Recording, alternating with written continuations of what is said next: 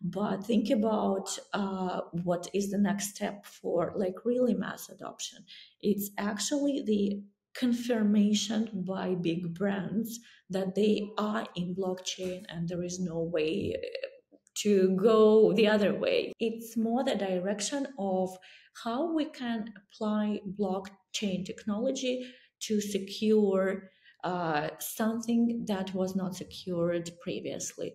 Um, there are things that, uh, if we are talking about mass adoption, we need to educate people.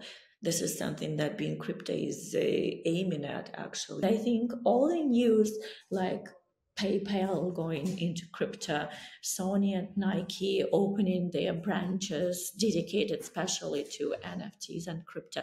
I think all this news uh, actually will keep supporting the uh, trend of mass adoption. Let's be yeah. honest. The reason uh, crypto industry thrived during the recent years was uh, easy monetary policy after pandemic times.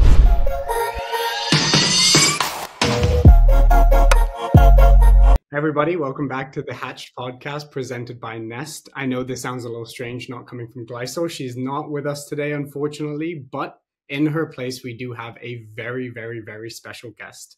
Our guest today is the CEO and founder of one of the largest crypto publications in the world. They reach around 20 million people, are translated into 14 different languages, and have a team of up to 200 people that are experts in their industries. So, ladies and gentlemen, please give a warm, warm welcome to Alena from BeInCrypto.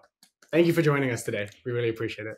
Thank you so much for inviting, and I'm happy to join your podcast. Yeah, it should be it should be a fun one. I'm I'm a little jealous that you're in Argentina because I've always said when the next bull run ends, that's where I will be heading. um, but maybe just to start off, you could help us learn a bit more about your background before crypto. So, kind of what you were doing before crypto and anything about those experiences till we ch- touch on maybe the transition point where you shifted your attention. Yeah, absolutely. Um, I've been working as a financial analyst focused on fundamental analysis of uh, foreign exchange commodities and uh, stock exchange uh, during uh, more than 10 years. So I've I was quite a prominent analyst in Russia back then, and um, my specific focus were foreign exchange, so foreign currencies, I forecasted the movements depending on the monetary policy of the central banks. So it's quite obvious that I was one of the first to actually start digging into the concept of the first digital currency. So mm-hmm. that's how I came to know about uh, Bitcoin. Um, initially, I think in 2014, I tried to uh, apply the fundamental and technical analysis to forecasting Bitcoin those times, but it's like insane. It's absolutely not working, and it's a, a whole absolutely different story. So, yeah, and the whole idea regarding uh, BeInCrypto was born in 2018 uh, during the ICO boom, if you remember. So uh, I have I had a friend yep. who worked in a marketing agency who started to dig deeper into ICOs and into PR strategies. So I was just curious watching what she's doing, uh, read some white papers that they got there, and it was kind of insane, but at the same time fascinating and inspiring. Some of the projects looked like absolutely innovative, uh, looked like they're going to change the world. So it was a very exciting time. But at the same time, in 2018, uh, I realized some pain points in the industry. I realized with this uh, big potential of many blockchain projects, there was a need of uh, reliable information in the industry. Many small projects were attempting to cash in, in on the booming industry. Uh, uh, it actually led to many scams, misinformation, and shilling around crypto. And I think I had the right background and experience to hmm. develop a crypto news media project that could fill this gap. Because previously I used to work as a fundamental analyst and I also managed a, a financial magazine Mm-hmm. And then I managed a newswire uh, dedicated to uh, financial news. So all this in one space actually gave me this advantage of starting the business. And initially, I identified those three areas where the biggest pains of the audience lied. And I do believe that we still have some of those pains right now. So, first of all, uh, simplification. Most crypto media aimed at crypto experts and they didn't look accessible to a wider audience. They mm-hmm. created this feeling of this elite circle, which could be joined by geeks only. And mm-hmm. then uh, the second point is trust it was obvious that anybody could pay money and promote their crypto project without a proper scam check and digging deeper into KYC issues. I remember when we joined, it was like more than 200, maybe even more uh, news media, and they didn't care. They didn't check because nobody knew even how to check this kind of project, yeah. you know. And then the third point is fact checking and original reporting, because the whole news media industry or Web3 was evolving from blogs rather than from you know traditional uh, media outlets. So those, uh, those times, many media uh, wrote stories based on rumors, tweets, random posts without proper fact checking, and in many times in a very biased manner. So yeah. in many times they actually mislead misled people. So this is basically what we focused on from the very beginning on uh, injecting trustworthy information in the area which uh, didn't have any rules those times. I do believe that right now uh, the industry is more mature, but there are still cases. You heard some of them just recently. Do you? So actually, on on that point, I think it's an interesting topic because our industry is a very, very financialized industry. I'm curious because our industry is very financialized and people's real money are at stake, both the people in crypto who are experts and the people sitting at home. And I do like what you're saying about we need honest media because the stakes are actually higher for people. And I wanted to ask how difficult is it to do proper due diligence on a project? Because I imagine a lot of these things are crypto people tend to be good at manipulating and hiding some things sometimes depending on the project you talk to and i wonder how difficult is that process to say okay this is genuine this is honest these guys are trying to take advantage of the system. Yeah absolutely. Um it's uh we, we do have our own guidelines you know. Uh mm-hmm. we have the list of things that we are checking regarding the companies uh who want to uh, get promotion with us. And um, it's obvious that core of our business is advertising as any news mm-hmm. media any uh, news outlet this is the way we make money but um, partially just because uh, we have already the brand and authority and we are able to get in touch with uh, the most influential and the biggest players of the uh, industry. So we are able to partner with those who have already built the trust, and we know that uh, they're not gonna just escape with somebody's money.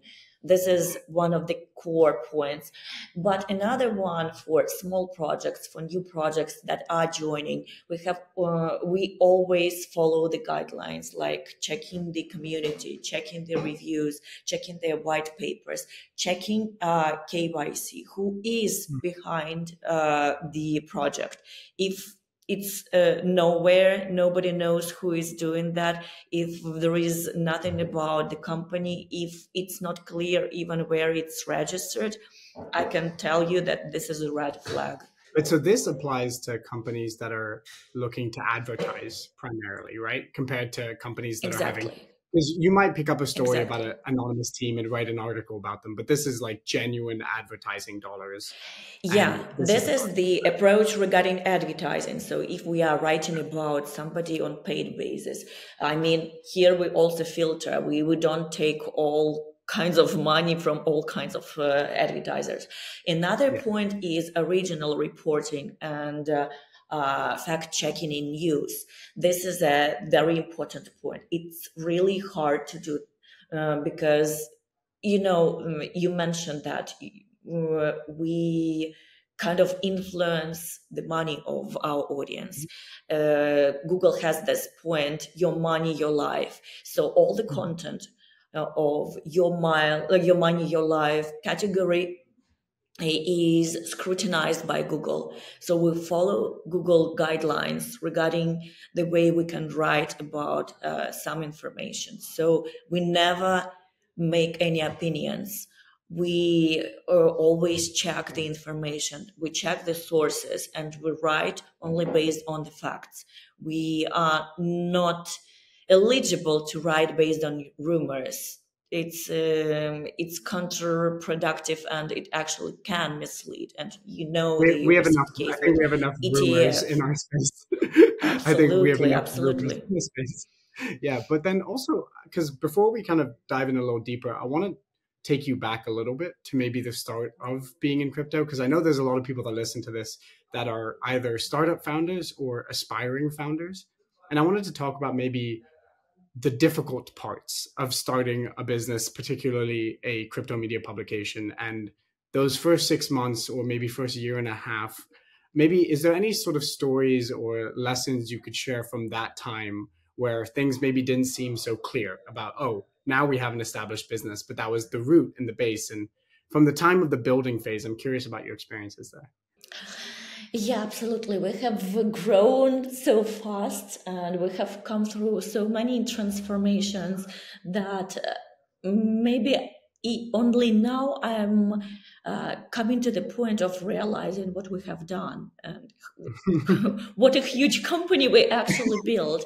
Because right now we actually write in 16 languages already. We are the biggest in the world by coverage. And can you imagine there's more than 200 people writing from more than 60 countries in the 16 languages? And we are absolutely remote. We are decentralized. Basically, we do not have any office.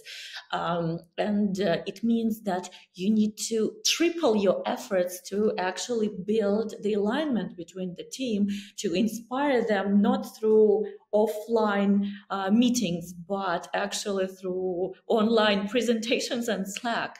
And uh, yeah, this is a, a very challenging uh, um, industry and a very ch- challenging environment. So I would name maybe two key lessons I learned. So first, focus on talents. I do believe HR is the king even if you have the greatest and the brightest idea and you have the motivation but if you surround yourself with people who do not share your values or who do not have the needed expertise uh, you're not gonna achieve the goals. You cannot be one man in the battle you know? So the way you hire the way you inspire the way you build connections between departments and teams all over the world in our case eh, it's even twice more important in a remote environment uh, and the right people in the right place with the right values and commitment will make wonders this is mm-hmm. basically the case with BeInCrypto during five years we outperformed more than 200 uh, companies that were much older than us that had a great SEO core, you know, uh, that have been writing for quite some time and building the community at the very beginning. But we we did it with this right approach. And the second point, I would say, be ready to learn through your life. The world is changing and many things are becoming obsolete, especially in Web3. One day it's uh, uh, ICO. Who remembers about ICO right now? You know, uh, another it's metaverse, uh, then it's NFTs, and we are moving in cycles. Sometimes it comes back, sometimes it's becoming obsolete.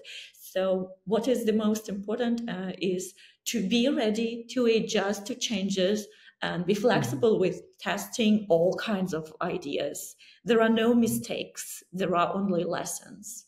And actually, I think that that is a good point in the sense that we can't get married to any ideas in this space because they change so quickly and the breadth Absolutely. or the scope of what we're working on is just going to get bigger and bigger so when we talk about the ico days it was an insane time for now looking back it was a very simple feature it was to, to launch a exactly. token which now looking exactly. back so much happened because of that simple feature but now looking at it it's quite simple compared to what people are working on today and so there yeah, is like crazy time cycle for this industry. And I wonder, when did you see that growth for your company? Was there was it moments where the reach just scaled and got really large over stories, or was it a gradual increase over time? No, we definitely had these moments of our life. First uh, stage, I think, uh, was um, after half a year I think in the beginning of 2019, uh, we had we got a huge spike from Google. Um, we actually um, the key of our success is uh, organic traffic. So it's not paid, it's not partnerships. It's uh, basically we are writing the way that Google considers it to be a trustworthy information. So I think the first stage was this uh, Google appraisal. They they confirmed that we are relevant and we are writing good mm-hmm. stuff. And then the second stage was the decision of uh, scaling our business to uh, the first five languages because initially we wrote in English only, and um, the information those times the information even in english was really scarce. So we mm-hmm. would we could stick to it. But at that time we realized that in other languages it's absolutely non-existent. So the decision to uh, scale it to i think initially it was uh, german french spanish turkish and russian. We started with um, Spanish first and then scaled it step by step. So yeah, we we saw that uh, people really need this information. I live in Argentina right now. Uh, not many people speak English, you know, not many people will understand uh, articles in English. They actually need information in their own language. Uh, and Spanish uh, language is one of the most popular in the world how can we yeah right now we have uh, uh, Polish, we have Thai, we have uh, Indonesian, Bahasa, mm-hmm. and we are writing in all these languages as well, and it's even less information there. Mm-hmm. Do you do you see that as maybe? I like to ask people what their ten year goal or blue sky vision is. Do you think that's part of it? Is essentially having a media source where regardless of where I am or what language I speak, I can just switch between the languages so that it's not, oh, I need a writer to write a, um, an article in Bahasa or in Mandarin. It's the language, they, all the articles are immediately translatable through all of the different languages. Oh, I think it's the question of uh, one year you see what's going on with AI right now. Um, of course, the quality is still not at the level. Of course, uh, there are hallucinations uh, in ChatGPT, but um, the speed it's evolving, it will definitely change the whole world of media. And uh, here we need to be careful because fact checking is still the problem there. Uh, but with the properly trained system and uh, with a properly trained uh, um, team of editors, I think it's absolutely possible. Of course, uh, it could not live without manual reviewers. Uh, mm. We will still need somebody checking if it's the right uh, topic, if it's the right information, if it's the right source. But, anyways, I do believe it's absolutely possible. Actually, I want to shift a little bit over to talking about the industry as a whole because I think we're in a very, mm-hmm. very interesting time. Honestly, in the last like two weeks and right now, where a lot of people are talking about it seems to be the the starting seeds of a of a bull market. And I wonder, is that something do you do you see that in the data? With like the readers, the topics they're looking at, and all these sorts of things that the traffic is going up? Or is this just a narrative that we're making up in Twitter to make ourselves feel better? no, I would say that this first uh, positive news, positive seeds of news are uh, coming to the market definitely, and you can see not only by traffic but also by the uh, dynamics of cryptocurrencies. Uh, they started mm-hmm. to go greener, you know. so this is one point, but I would not call it a, a crypto spring. Even it's just the very, very beginning, and yeah, I would not just consider it uh, yeah, I would not consider it something like super stable and long term. But I would say that in uh, 2024, it's going to be changed and we will see crypto spring for sure and it's based not on good news regarding uh, ETFs or Bitcoin halving. This is fundamentally good as well for crypto market, but it also depends on the recovery of the global economy. Let's be yeah. honest. The reason uh, crypto industry thrived during the recent years was uh, easy monetary policy after pandemic times. And uh, central banks injected a lot of uh, cheap money into the world economy.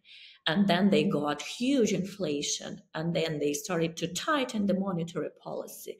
And all the money were gone, you know, in one year we just uh, yeah. we're left without vc money and it means that the development of some of the projects were stopped and this is the reason what we see right now with cryptocurrencies mm-hmm.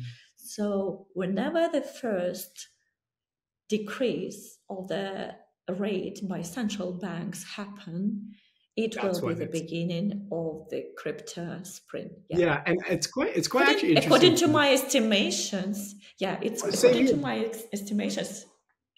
Yeah, uh, it's gonna be in Q3 2024, and it's gonna be done by Federal Reserve. Yeah, it's quite funny because honestly, what you just said, the Federal Reserve lowering your interest rates, that's the biggest determining factor of whether or not we get this. But we still have a Absolutely. lot of people talking about no, no, it's the halvening, and I'm like, do you think I'm going to tell my friends, hey guys, the Bitcoin halvening is coming?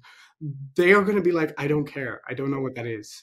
But when it comes to cheaper if, money that I can. If you don't have money, exactly. If you don't have money, whatever happens in the industry, in the space, it will. Uh, actually influence the opinion only very small uh, amount of people those crypto geeks who really understand what is halving the unfortunately we are right now at the stage when we still working on mass adoption and we are not there eh, in some countries like argentina for example i think it can be around 15 to 20 percent but just mm-hmm. because mm-hmm. they actually resolve the pain points of their economy with the help of cryptocurrencies but in many countries over, over the world it it doesn't exceed more than I don't know, maybe three or five percent. So yep. the mass adoption you, is not there. I think one of the things that I've seen is even though a lot of the market cycles are driven by rates and by the easiness of getting money, essentially, they also do tend to time up with a use case. So ICOs, NFTs, DeFi, all these things. And I'm curious, maybe less so what you think the next use case will be, because I, I don't think that that's, we can understand that at this point, but maybe do you see data about use cases in terms of, oh, real world assets have a gen- genuine trend line that's going up of interest over the last six months or any sort of use cases that maybe you see as particularly interesting? I do believe that the next stage of the development for uh, Web3 will be not this hype viral topics like NFTs or metaverse or gamify. Think about that. Gamify was aimed at a gaming community, NFTs on artistic community, then uh, metaverse on um, gaming artistic community. So mm-hmm. it's this uh, viral thing, but uh, and the the traders community have always been there. But think about uh, what is the next step for like really mass adoption. It's actually the confirmation by big brands that they are in blockchain and there is no way to go the other way you you mm-hmm. choose this direction just because it's the future and i think all the news like PayPal going into crypto, Sony and Nike opening their branches dedicated especially to NFTs and crypto. I think all this news uh, actually will keep supporting the uh, trend of mass adoption. It will not be like this viral and immediate, but it will be the building of trust from bigger brands. I do, do believe actually, that what you think it won't come from within the, the industry. You'll think it come from it'll come from acceptance from the major corporations around the world. I do think that we came to this point. If you remember dot com boom, what was initially like it was super. I'm not sure. I was doing maybe, business. I might have been one years old, so I'm not too sure. yeah, um, I was young too. But anyways, I read about that, and I do see the you know the trend is kind of the same. So initially, it was the narrow community of uh, technical geeks. So they were developing something. Then immediately it became viral with lot the with the easiness of businesses that you can launch, and then it attracted a lot of venture capital money. This is what we saw two years ago, right? And then the um, the bubble burst, and then after all this virality, step by step, the big companies started to realize what's happening and go into the space. And then some uh, startups, the biggest startups, started to develop into really mature companies. So it's basically the trend of two side, two directions the established companies supporting and improving and giving trust and then the big ones that we already have in the space and we do have them will start getting even bigger and start uh, showing even more uh, use cases that are applicable for a traditional business. I think i think that makes sense. It's it's it's I think a lot of the time we want it to be one or the other. Like, what's the use case? Because a lot of people then will think, "Oh, what's the use case? Okay, which which tokens exist for that use case? I'll buy it." But it is it's a mixture, right? It's like it's we we need exactly. acceptance, but then we also need development from our side, from the inside. And I wonder, starting a, a crypto publication, I think you, out of most people, get a very interesting look into the space that not a lot of people get because you exactly. get to do due diligence on a lot of companies. You get to see what they actually have when it comes down to it when they're looking to advertise. And I wonder, are there anything things that you think the general crypto public doesn't know about or doesn't pay attention to that you think is a bigger issue than it is or a bigger part of our space than it is? Because I'm always looking for misalignments of crypto people on Twitter think it's this, but the big companies and the media they think it's this. And so I'm kind of curious about like that distinction and if there's anything you could share with us about it. Yeah, I'm not sure even if I can share it because it's gonna be like you know it, it's gonna be only my personal opinion, mm-hmm. and uh, maybe it's not going to be confirmed because there is not enough data. I can say that currently, of course, the biggest players are those who focused on trading, and it's obvious because, um, yeah, they have they, they are the only one who have viable model, but uh, the trend is kind of going into the direction of eh, like real business use cases. It feels like that. Uh, so, like resolving the pain points. There are some projects that are working on uh, uh, tokenization of uh, real estate, for example, mm-hmm. which actually combines the idea of digital nomads, freedom, accessibility of uh, very expensive real estate all over the world, and security as well. Uh, so, mm-hmm. This is only one of the examples. So, for me, it's more the direction of how we can apply blockchain technology to secure uh, something that was not secured previously. Uh, there are things that uh, governments.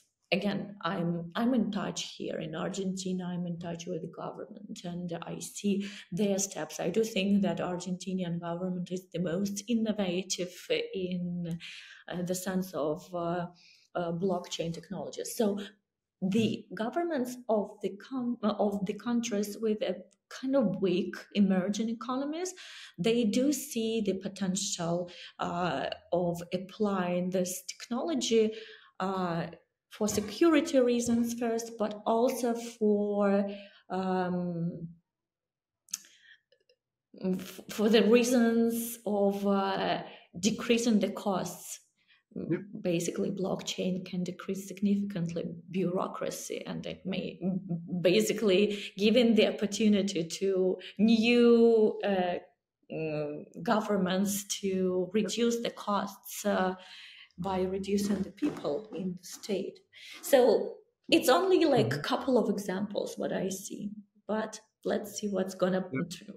and i agree. I, I do i do agree. I think like one thing is that some a lot of countries in the world should crypto develop into what a lot of us think it will will become pretty wealthy because of it. And i think those will tend to become tend to be the currently less developed nations because they're going to see the opportunity and want to take the risk compared to a established company or established mm-hmm. country.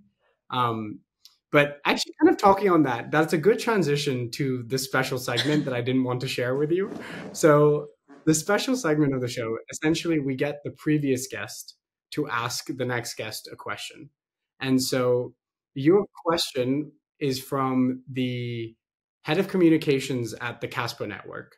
And the question for you is if you had to build an app right now to onboard a million people into crypto what app do you think would give you the best chance okay that's a tricky question I would say it's an educational app, something like EdTech, uh, but uh, applying all the Web3 advantages.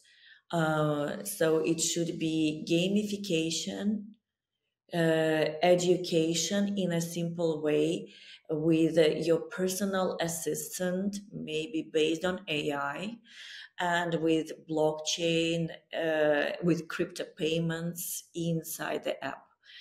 And in the best case scenario, it should be a web app. It should not be part of Apple and Google environment.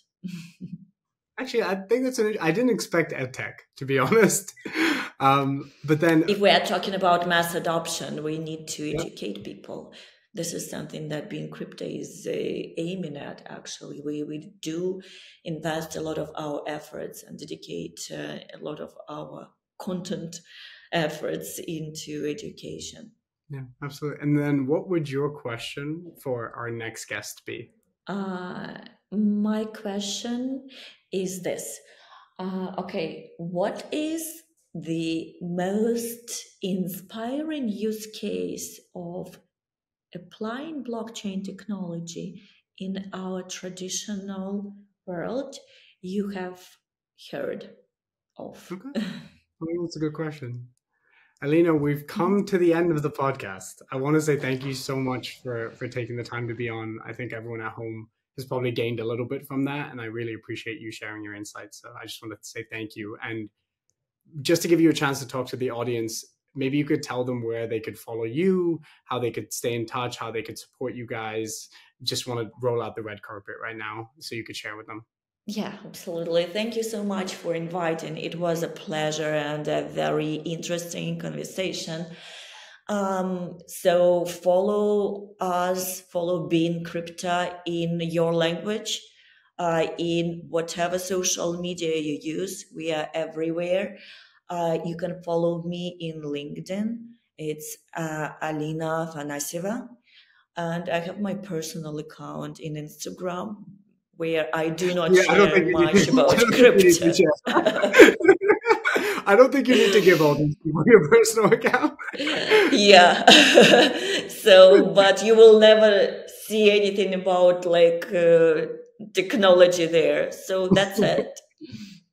Perfect. Well, Alena, thank you so much, guys. We're going to put all this information in the description below. So please make sure to go follow, support, engage with them. They're a really, really pivotal part of our space. So we appreciate the work they do.